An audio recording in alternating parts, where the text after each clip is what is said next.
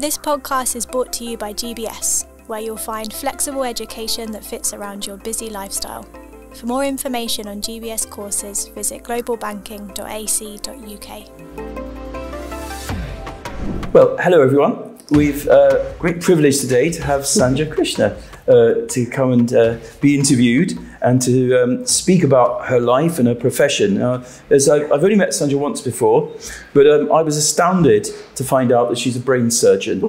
And uh, so you're very welcome. Thank you. And uh, we've got a few a few uh, questions for you, and hopefully we can explore, explore for for GBS students um, the trajectory of your of your studies, your profession, and what it gives you, what it what it does for you, and um, why why you've come into this. Really, Yeah. Is that okay? Yeah, that sounds great. So Sandhya, um, could you tell us a bit about your early life?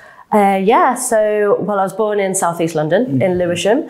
Um, both girl. my parents, yeah, London girl. Um, both my parents were from India, um, but um, we grew up in southeast London. So I was born in Lewisham Hospital, essentially.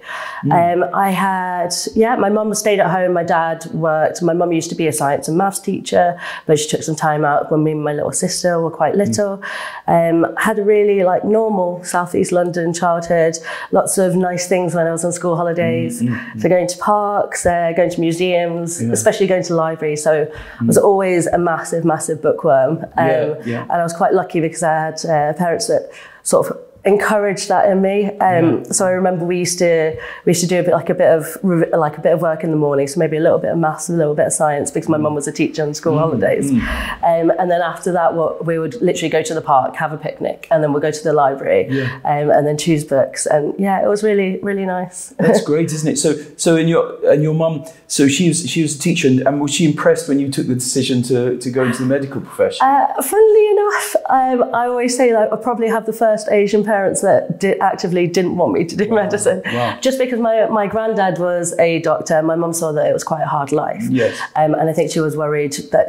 Um, it would take its toll on me, and I think it's quite. I think I'm quite lucky because I think the medical system now is very, very different from what it used to be. Essentially, Right, yes. um, my dad was always very artsy, like my little sister is. Yeah. Um, and um, I think he, he was quite keen for me to do something like English or law or something. yeah. But um, I wanted to do law for a little while, but I have a tendency to cry every time I argue with people. so that sort of uh, put a stop to that. what were you good at at school?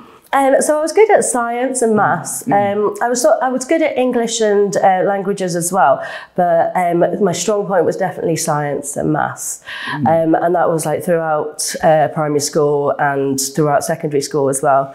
wasn't the greatest at art, which is quite funny because you would think as a surgeon I would, Yeah, would be vaguely good at it. Yeah, good with your Um, hands. yeah, Yeah, good yeah. with my hands, but yeah, okay at replicating things, but never had that creative streak uh, Yeah, for music and yeah. art. So then college, or what what happened at college then? You did A levels, usual. Yeah, yeah, exactly. So um, essentially, I went to, um, I, well, I had. So I went to primary school, and then I went to secondary school. Um, secondary school, I was super lucky to have like amazing teachers um, who it was like a quite a a normal comprehensive school in southeast London. Yes. Um, and I had like really good teachers that really encouraged me to take risks because I used to be quite shy.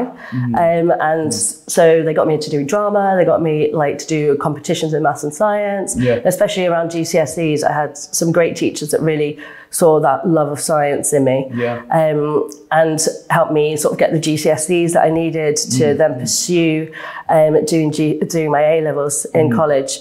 Um, and I think that's essentially where everything sort of started. So I did uh, so I did chemistry, biology, maths, um, geography, and I did an English AS level, which uh, I wasn't as good at Yeah, yeah, as yeah. the rest of them. Um, but I was yeah, I was really really fortunate to have great teachers that really encouraged me. So. So then what happens? I mean, what happens then after the A levels? What where, what happened then? What's next? So after the A levels, um, so I applied for medical school, and I was really lucky to get into a couple of them. Um, I chose Manchester Medical School um, because um, I'm sure we we've talked about before. I, I love my music as well, so um. It was very it was a great place Yeah. for, for me to go, which I which I could sort of like explore the social side and also Yeah. do the sciences, and it was a great um, course as well. You've got a slight Manchester teams. I your- do, I do, because I was there for quite a while. So Yeah. what- because in medical school you can, um, so I did the five years of medical school, but I also did an intercalated degree. Mm-hmm. So that's essentially where you do the last year of a degree, a science degree, and you get that degree as well. So I did that in neurosciences. So I was up there for quite a while. Yeah, Um, yeah. Um, funnily enough, I don't know why it, come, it sort of comes and goes Yeah, a little yeah, bit, but I think because I'm living in Liverpool now, Yeah. it's sort of I think a bit, a little bit more pronounced. Yeah, well, uh, and and what what is what is a you know the, what is a medical course like? I mean, is it stressful? I mean, what is it? Yeah, so it's it's a lot of hours. Um, I would say. Uh, so the course that I did in Manchester is called like a PBL course. So it's problem based learning. So it was perfect for me because I don't do very well in sort of just sitting in lectures. Um, I had a tendency because I like the social life as well to to maybe not pay as much attention in the lectures as I should have probably yeah. been doing. Um, but the PBL side of it was really key um, for me because you go, they give you a case and you go away and you do your research about it and then Yeah. you come back and you sort of discuss it um, in a group amongst yourselves. Yeah. Um, but it, it was a lot more hours than you do like in un, other undergraduate degrees. Oh, Yeah. Um, and you do essentially basic sciences for the first two years, which is normal university, and then you go on to placement, um, and that's working within hospitals. Yeah. Um, and so then your week becomes more of a normal working week, and your school, hol- like your university holidays, get drastically shortened as well. Mm, Um, and then obviously you've got like exams and things like that, and you're encouraged to do extra things um, outside if you want to pursue a speciality as well. Yeah, and, so, and then what? When was the decision then to go into the brain, so to speak? Um, so weirdly enough, I think it started very early on. Um, so I always, I've always sort of had a bit of an interest in the brain, and my dad was diagnosed with Parkinson's when we were when we were younger, um, and I think that sort of piqued a little bit of an interest. Um, but initially at medical school, I always thought I was going to do neurology, which is the medical side of like the brain, um, rather than the surgical side of the brain. Um, but I remember when I was at university, um, I was you do a placement in different specialities essentially, and I was doing my neurosurgery placement, and I had this amazing uh, female registrar, which is the level that I'm at now, um, who basically let me scrub into an operation, let me assist in an operation, and like w- literally within an hour, completely changed my career trajectory. Good, Decided yeah, to do yeah. science, to sur- surgery. Sorry. I mean, it's such a responsibility to have, isn't it? Yeah, it is. Um, yeah, it really is. It's it's quite emotionally exhausting as well as being physically exhausting Mm-hmm. because I'm sure you can imagine uh, you're walking around a hospital and even if you're not walking, you're standing Yeah. and you're constantly sort of active. Mm-hmm. Um, so yeah, it's it is it's a difficult job, but at the same time, I really enjoy being able to look after people that are quite vulnerable and Yes. maybe don't. And I enjoy the fact that in surgery, you can actually you can do operations and you can actually make a massive difference to a person in a very short amount of time.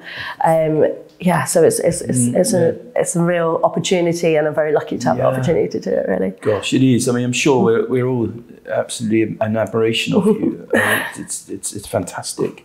Dude, um, what's your working week look like most of the time then? Oh, okay, yeah. So um, it's it's not a myth that it's very very long hours.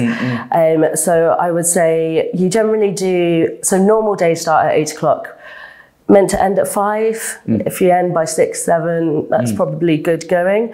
Um, and the on-call shifts, when you're more junior, they tend to be 12 hours, whereas when you're more senior, so at my level, you tend to be 24 hours or 48 hours over a weekend. So the hours actually build up quite quickly.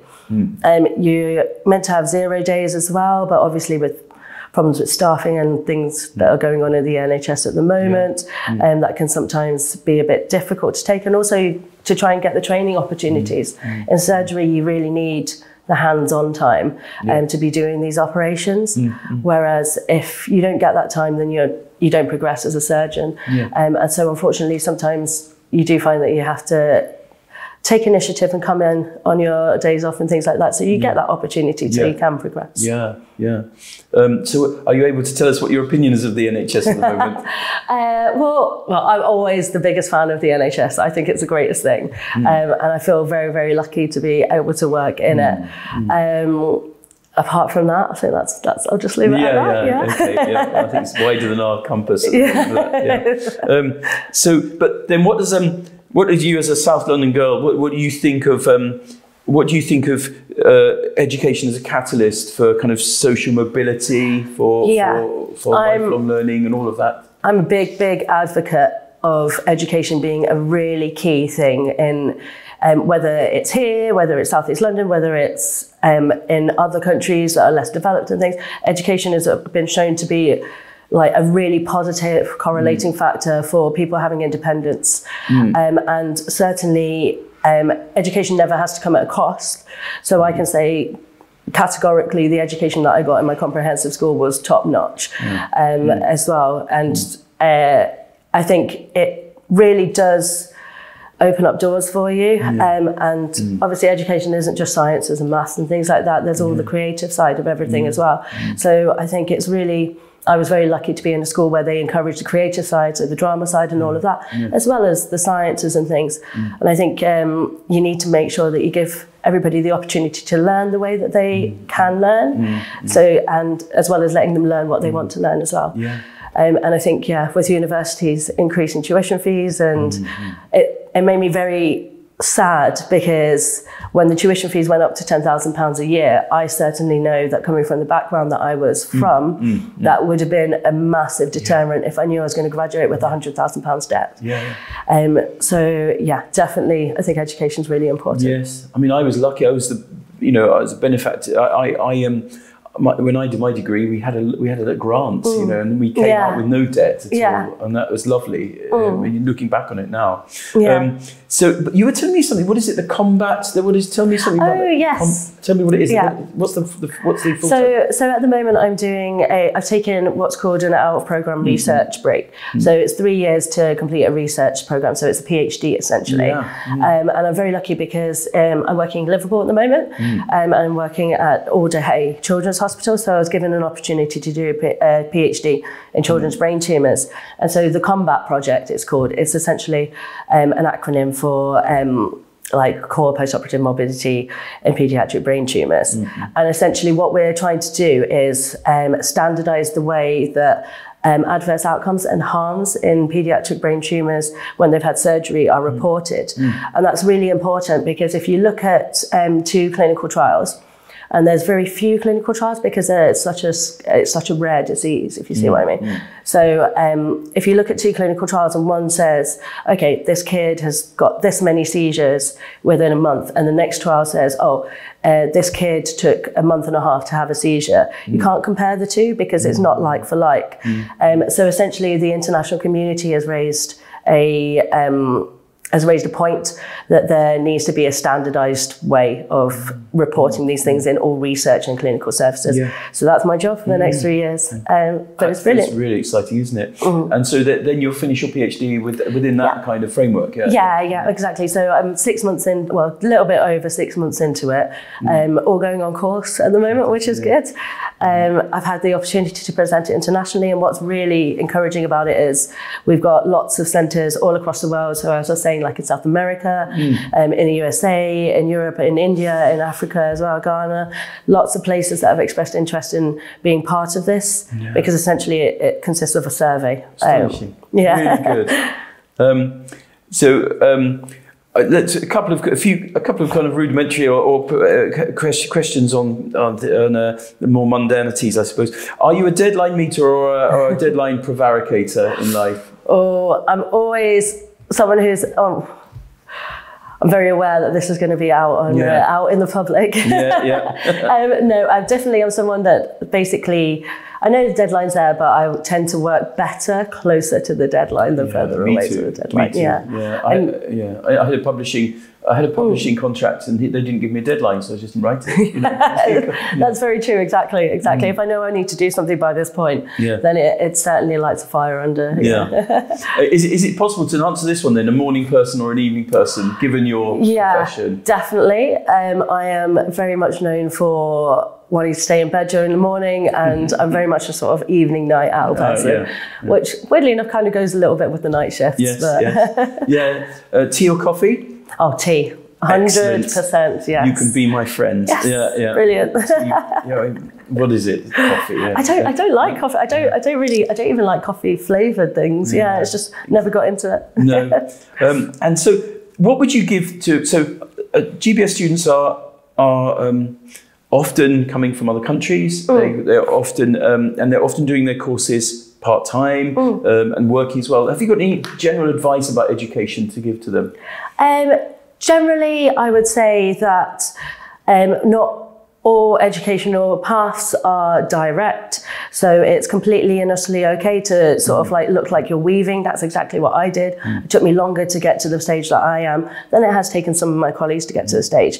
But at the end, it's about choosing the path that's right for you. Mm. Part time is right for you, then that's that's the best way of doing it. Um, never try and stick to someone else's timelines. Always stick to mm. yours. Very good, thank you. Well, you're a treasure. Thank you. Yeah, I mean, you know, I'm, we, we we really support our NHS, don't we? Yes. And um, and it's one of the well, they, they, said it's almost like the nation's religion now, isn't Yes, it? yeah. yeah. yeah. And it, and um, so, do, do you feel do you feel in your profession that people value you?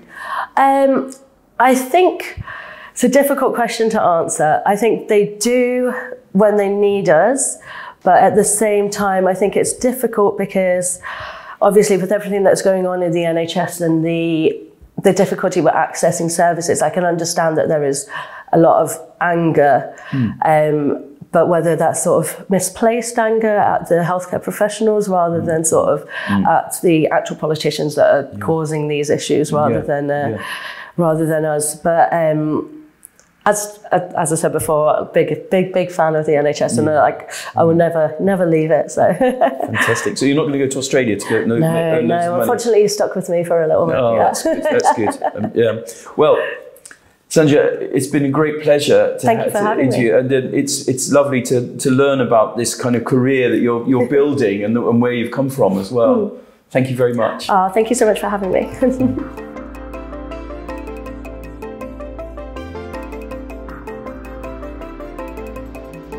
Thanks for listening to this GBS podcast. GBS is a provider of higher education with flexible courses in business, finance, accounting, healthcare, technology, and construction. With courses from HND to bachelor and master's degrees, and study options that include weekdays, evenings, and weekends, there's a course that's right for you. Visit globalbanking.ac.uk or email the GBS team at admissions at globalbanking.ac.uk.